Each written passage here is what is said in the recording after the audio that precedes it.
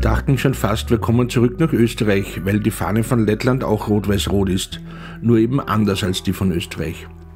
Wir waren nun in Lettland und es gab auch keine Kontrollen bei der Einreise, auch wenn man hier eine Online-Einreiseanmeldung braucht und einen grünen Pass braucht, den wir aber auch hatten.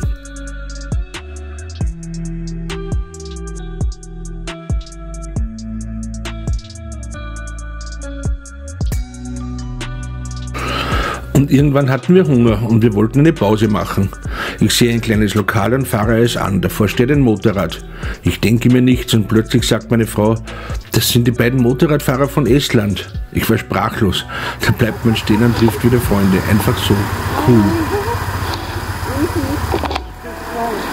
Das darf es jetzt aber nicht geben.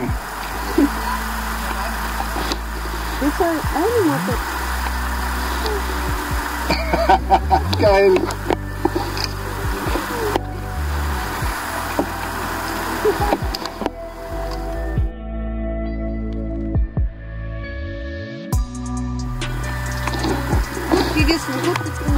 Super gegessen, super getrunken, Freunde getroffen. Jetzt geht's los.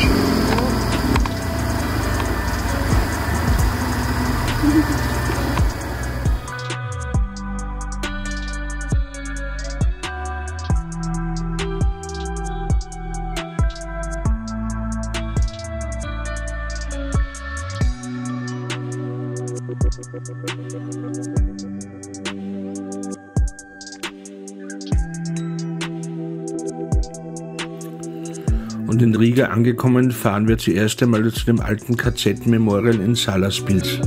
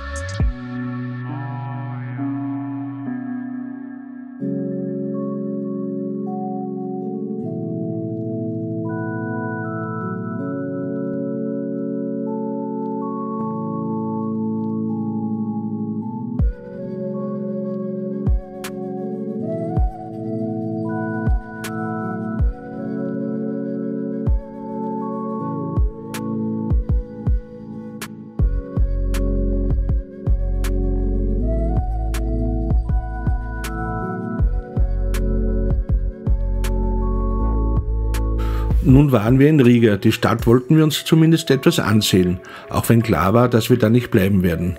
Und Riga ist schön, werden wir sicher nochmal genauer erkunden. Im Baltikum gibt es noch viel zu entdecken.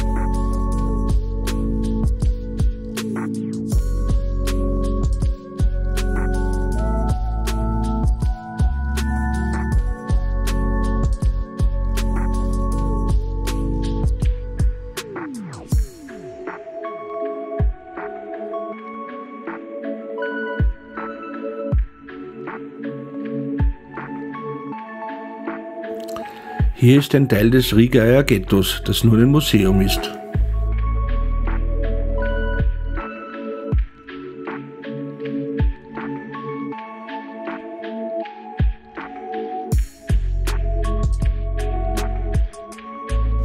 Nächstes Ziel, der Fernsehturm von Riga.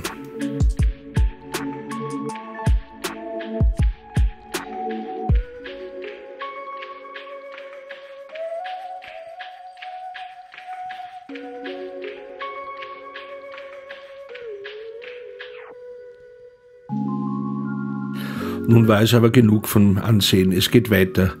Eigentlich wollen wir in Richtung Dobele und am Weg dorthin irgendwo dann ein Hotel finden unterwegs.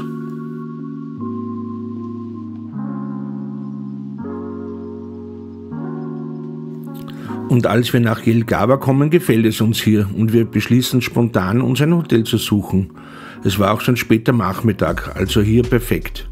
Und wir haben dann auf booking.com ein einfaches Hotel am Fluss gefunden.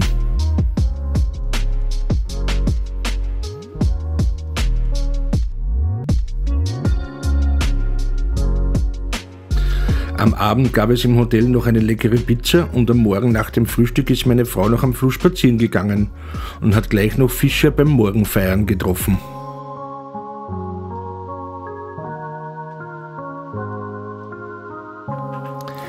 Der Tag begann zumindest einmal sonnig und wir sind in Richtung Dobele aufgebrochen. In Jelgava haben wir dann noch zufällig eine Sammlung meist alter russischer Autos gefunden.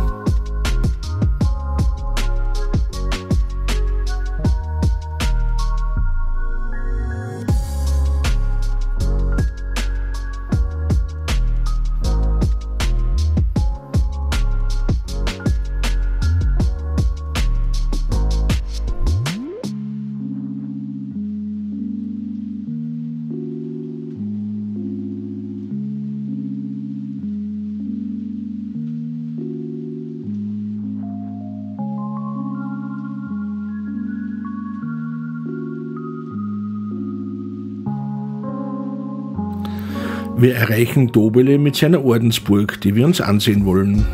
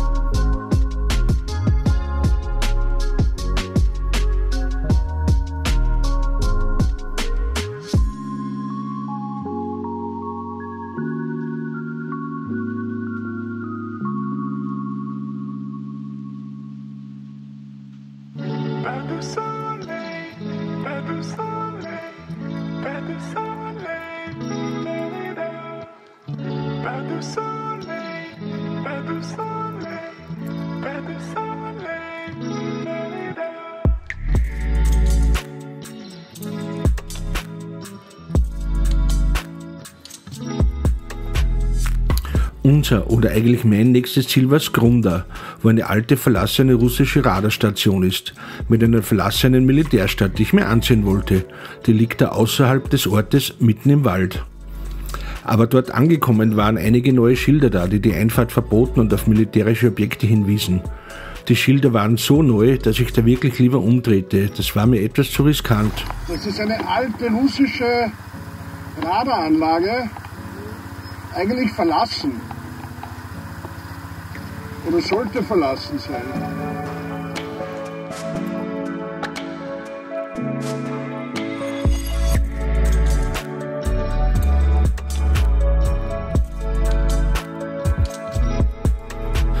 Die Schilder sagten auch, dass man da im gestärkten Gebiet keine Drohne fliegen lassen darf. Deswegen bin ich raus und habe es außerhalb des Geländes steigen lassen. Ich wollte ja wissen, ob dort wirklich was war. Und ja, man konnte gut sehen, dass das wieder aktiv im Betrieb war und dass da auch viele Autos waren. Ein Bekannter hat dann recherchiert und mich informiert, dass das estnische Militär das seit ein paar Jahren als Übungsobjekt wieder in Betrieb hat. Also doch gut, dass ich da wirklich umgedreht habe.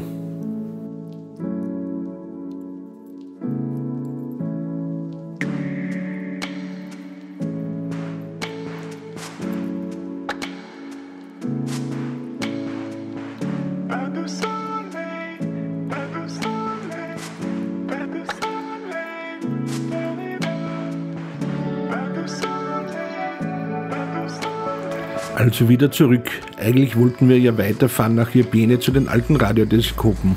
Aber es fing dann so stark zu regnen an und wir sind direkt Richtung Grobin und Lipaja ans Meer gefahren.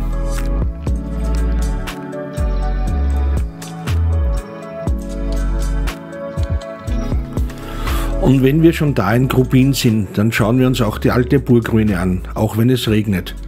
Und hier waren früher auch mal alte Wikingersiedlungen.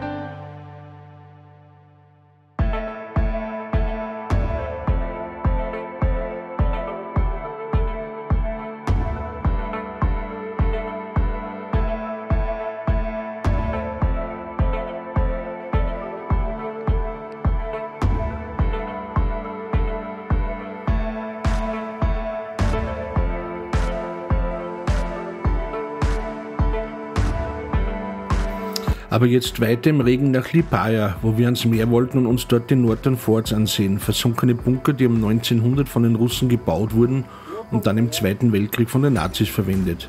Zumindest das, was halt noch nicht abgebrochen war. Und heute sieht man, wie stark Wasser ist, dass sie diese dicken Betonbunker einfach unterspült und abbrechen lässt. Und das sind viele davon, die da ins Meer abbrechen.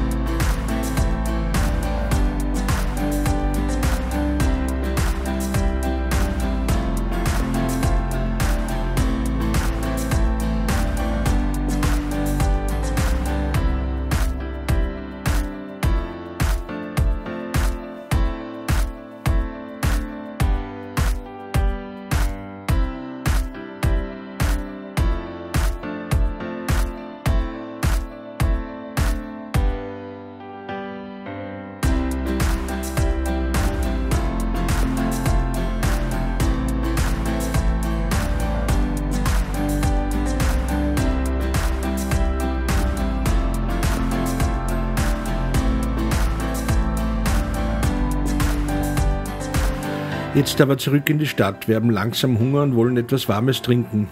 Wir wollen uns einen Platz am Meer suchen, wo es auch schön ist.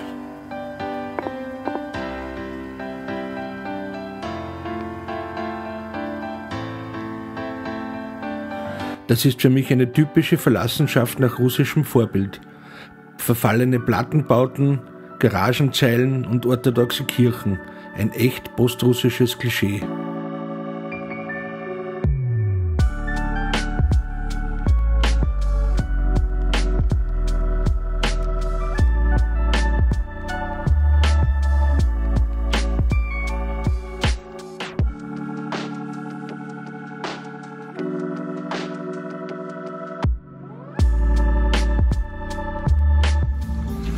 Pause am Meer, an der Mole.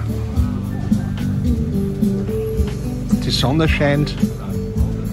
Es ist warm, die Menschen sind Boden, es ist super. Ja, ein gewisser Sarkasmus schleicht sich da schon ein. Wir fahren nun weiter Richtung Litauen, wo wir an dem Tag noch auf die kurische nähern wollen. Es ist ja früher Nachmittag bei uns, da geht noch einiges.